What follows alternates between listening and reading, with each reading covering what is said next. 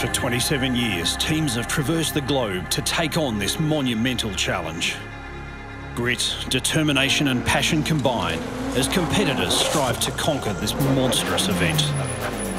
From gutter-lined street stages to isolated mountain ranges, this island takes no prisoners.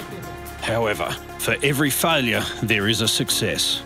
It's only here the ultimate spoils are delivered, rewarding those who complete one of the last true challenges in the world of motorsport. Welcome to Targa Tasmania 2018, the world's ultimate tarmac rally. This 27th edition sees 285 cars tackle a stunning 2,000 kilometre course comprising 33 competitive stages over six grueling days.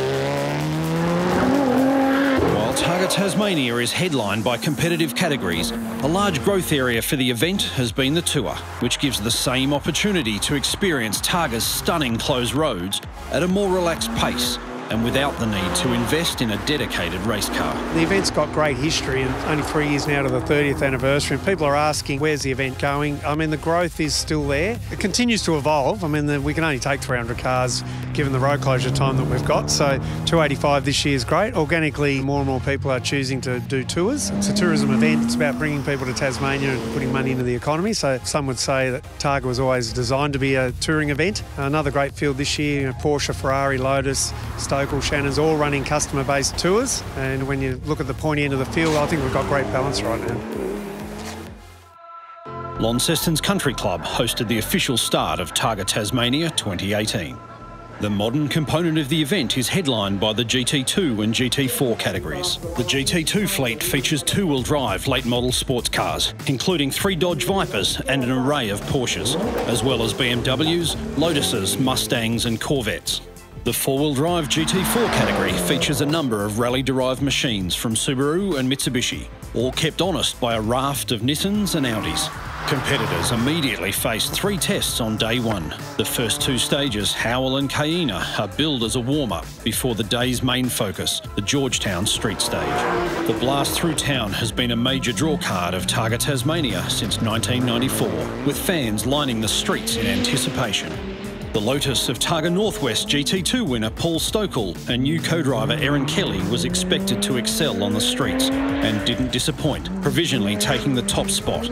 Despite setting the fastest time in GT4, the Targa Northwest winning Subaru of Steve Glenny and Andy Sarandis couldn't topple the Lotus. Nor could 2016 Targa Tasmania GT2 winners Matt Close and Cameron Reeves in their Porsche. It was only when the defending champions Jason and John White took to the stage that the Lotus came under threat. A perfect run was enough, with the stage win handed to the Viper. It was probably the most fun that I've had around Georgetown, trying to really get used to the left-hand drive. And trying to feed it round between the gutters is probably one of the hardest things you can do. We were within 50 millimetres of most of them, so uh, didn't want to get any closer. The car was a bit nervous early on, and we, we had to make a last-minute change to sort of just settle the back of the car down, but through there it was awesome. We probably got caught a bit too low tyre pressures. We were slipping and sliding around the first sort of three or four Ks, but, but yeah, it's always a hoot going for Georgetown. It's shops flying past. One of Targa's most popular categories is early modern, featuring a wide range of cars produced between 1986 and 2007. The hopes of Targa Northwest early modern winners Tony Quinn and Kate Catford suffered a blow when mechanical issues hit their Porsche partway through the Georgetown stage. Adam Kaplan and Alicia Penny's BMW and the Subarus of Ben O'Connor and Stu Benson and John Mitchell and Josh Sutcliffe all pushed hard. But pipping the field by a single second was the father and son pairing of Liam and Larry Howarth. Just wanted to start off on the right foot. The car came into the groove pretty quickly. Navigation was spot on, so had a crack. It's going to be a pretty tight year. There's a lot of really quick cars and drivers. It's going to be a good challenge. GT Sports Trophy presents another interesting battle with a variety of cars featuring at the front of the 130 km per hour speed limited category. Around the streets, the crew to beat were veteran campaigners Jeff and Nerida Beeble in their Nissan GTR. So I don't know how he's got me to come here 25 years every year. We keep saying this is the last, this is the last, but there's something about Targa and Tassie we've just grown to love. It was good. It was a lot better than the first two stages. There had a couple of little car niggles, but they sorted themselves out. It's just like blowing cobwebs out. A new initiative for Targa Tasmania is the return of the Rookie Rally, providing debutantes with additional support and a subsidised entry for their first taste of the full event. The grand prize for the outright rookie winner is free entry to Targa Tasmania 2019. Taking the first step towards the prize was last year's GT Sports Trophy winner Jeff Morton with co-driver Steve Fisher. The fact that they opened up the rookie rally again this year and it's for the whole event, that's the next logical progression for me and it's going really well. Made a dream come true for me. Every day is a learning day, every stage we're getting a little bit better. And we're having the time of our lives. This is a lot of fun. Certainly up through the narrow bit on the paving here, we came pretty quick through there, so it felt good. Allows us to have a chance at running a little bit quicker than some of the closed classes, so a bit of a thrill. I can't believe that we were actually allowed to do all this. It's such a well organised event, even though it's the first time here. They make you feel really welcome and part of the team.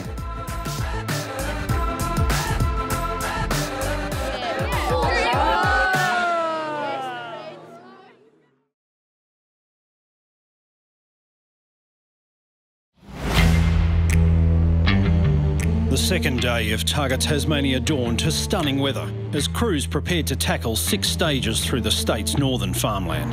The early stages were a challenge for some, but most were looking forward to the Paloona and Mount Roland stages that represented the first true tests of Targa Tasmania 2018. The leading teams all jostled to eke out the smallest advantage in the opening stages. Paloona proved decisive though, the Whites winning their favourite stage by eight seconds.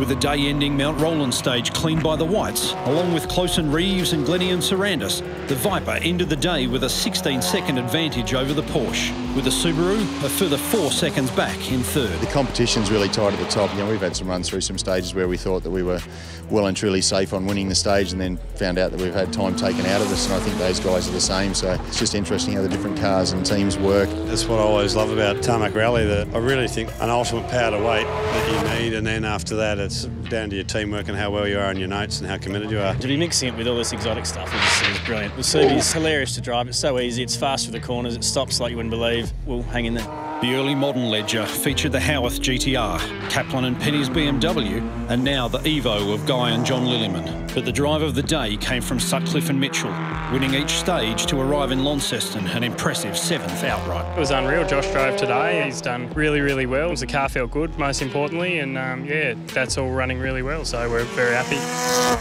In GT Sports Trophy, issues plagued the Beebles, setting up a battle for the lead between Martin Duursma and Richard Wadhams and Targa Northwest winners Richard Woodman and Marcus Towle. The Subaru headed into Mount Roland with a nine second lead, but pushed a little too hard.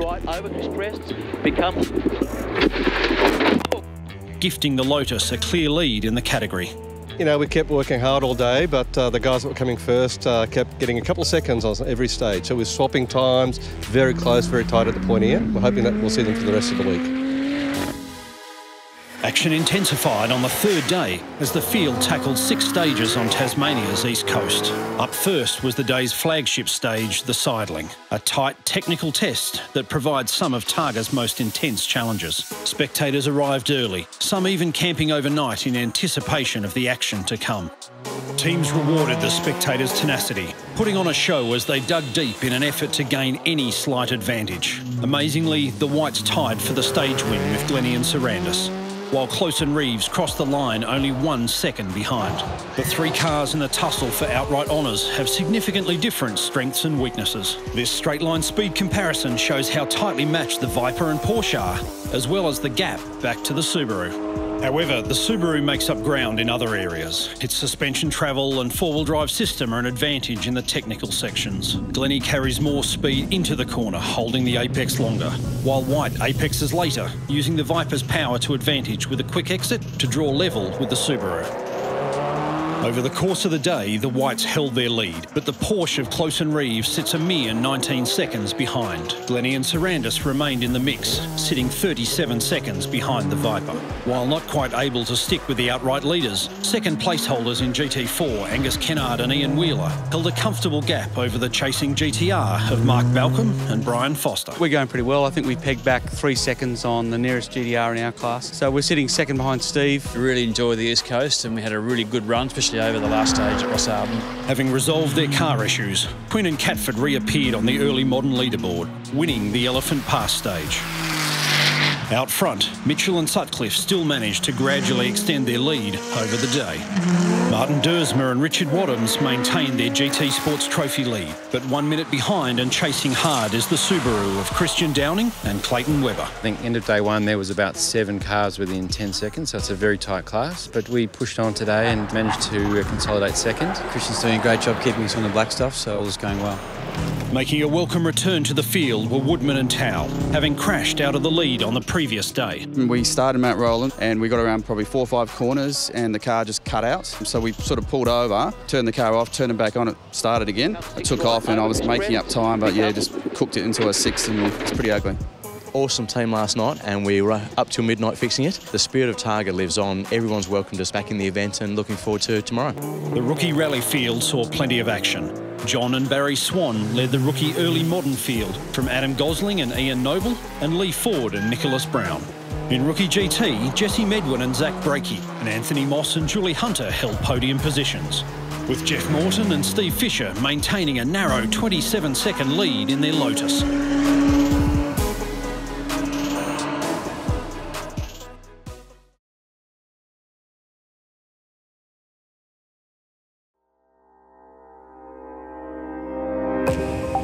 The fourth day of Targa Tasmania 2018 is the event's longest and most grueling, with crews facing a massive 440 kilometre challenge as they head from Launceston to Strahan. The day commenced with a legendary Cethana stage, the 38 hallowed kilometres proving to be a dream for some and a nightmare for others, including the rookie early modern leading Porsche 944 of John and Barry Swan. A spectator favourite is the Riana stage, with a right-hand junction midway through that never fails in delivering the action spectators come looking for. I remember a young girl saying she was, this is the most boring one I've seen, and next thing Peter Brock came through her hero. I've seen him get down that track down there. Spectators were rewarded for their efforts in 2018, with Dave Heaton and Caleb Ash providing the best entertainment. The competition in GT2 remained as tight as ever between the Whites and Close and Reeves. The pair taking three stage wins apiece. The Porsche owned the morning stages.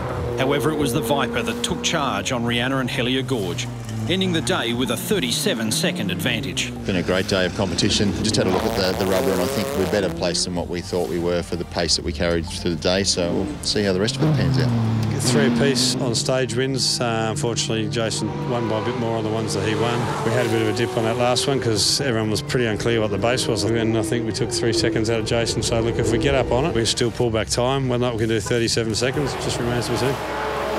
Struggling with car issues, Glenny and Sarandis dropped back from the leading pair, but maintained their GT4 lead over Kennard and Wheeler. However, all eyes were glued to the battle for third, with Paul Dowie and Bernie Webb's Audi TTRS now a mere 31 seconds behind the Balcombe Foster GTR.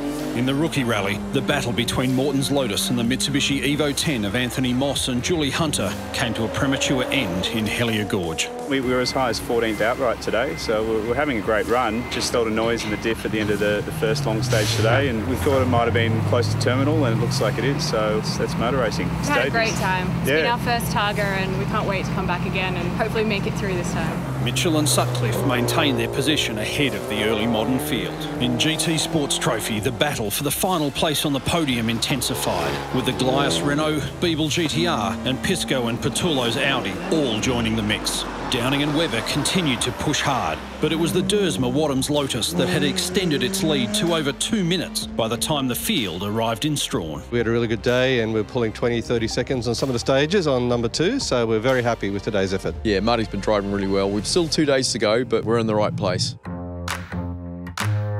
Stunning weather for the fifth day of Targa Tasmania heralded the possibility of an uncharacteristically dry run between Strahan and Hobart. The event's preeminent stage, Mount Arrowsmith, is one that every crew approaches with respect, the 52 kilometres providing no respite for the unwary. Heading into the day on a mission, Close and Reeves aim to reduce the gap between their Porsche and the White's Viper.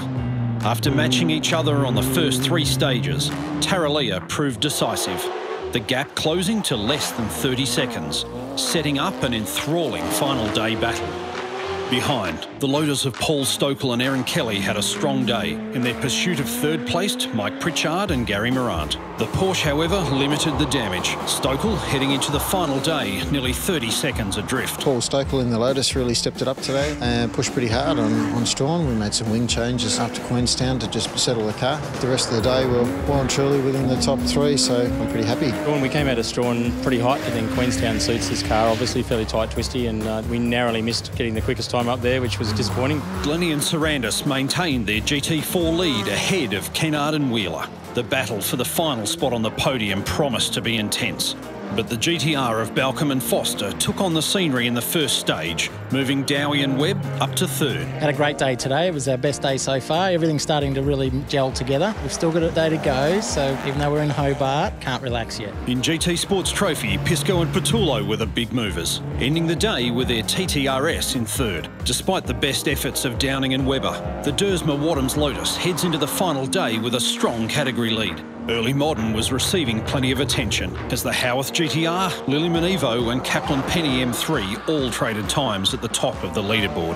The BMW pair won four of the day's six stages, but the Mitchell Sutcliffe Subaru continues to lead despite a sleepless night in Strahan. We had fourth gear in the gearbox let go um, late yesterday afternoon and we had to get a gearbox in last night and we didn't have one but Buckby's was able to get one from Launceston and bring it to Strahan. We was up to about 4.30 putting that in so we didn't get too much sleep. A bit tired today and time suffered a little bit because of that, I believe. But we made it and everything's safe and happy. And yeah, looking forward to tomorrow.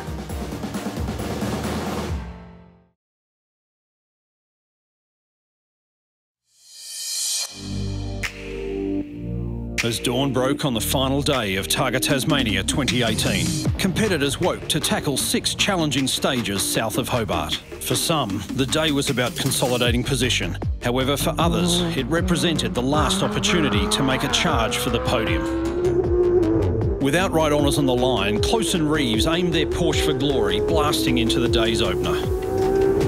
The Viper pairing knew the battle was on, and they launched into the bumpy tinderbox stage at maximum attack, unaware of what had occurred ahead. We were obviously planning to push on a bit and the front end pushed and uh, I just couldn't catch it so I've fallen victim of being a bit too competitive but um, look, we've got to just thank all our supporters, Porsche and the Scuderia, Auto and we, we put up a good fight. Disappointing would be an understatement. The early modern battle was hard fought to the end. While running third, Kaplan and Penny crashed out of contention, handing the Lilleymans their second successive third place. A strong day for the second placed Howarth GTR wasn't enough to overthrow John Mitchell and Josh Sutcliffe, who held on to complete their transition from kids watching Targa on the sideline to category victors, a process they've managed in just four events. A lot of people ask how long you've been doing this stuff for, and we, we always say, oh, we've been mentally preparing for 15 to 20 years. We live this sport, it's all we've ever wanted to do, put in a huge amount of effort. Certainly didn't expect it to go this way, but we're very, very grateful and happy that it has. Everything went well today race. Got it home, kept our gap, and fantastic day on the roads. Now we've done six now, finished three on the podium. Great. We were second a kilometre faster than we were last year, and uh, we brought out the big guns, and everyone else did as well. So it's been a really good challenge trying to keep up with everyone. It's brilliant, especially doing it with your son. Always getting better every year.